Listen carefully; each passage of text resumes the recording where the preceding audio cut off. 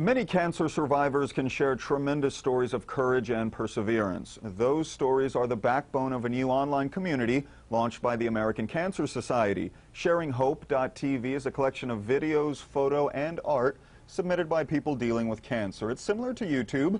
The goal is to connect survivors, friends, and family, as well as give inspiration to current patients. The site is the first of its kind for a nonprofit group in that it relies on people outside of the organization for all of its content. We hope to see your recommendations on other great sites. Send us a link to WebSightings at news8austin.com.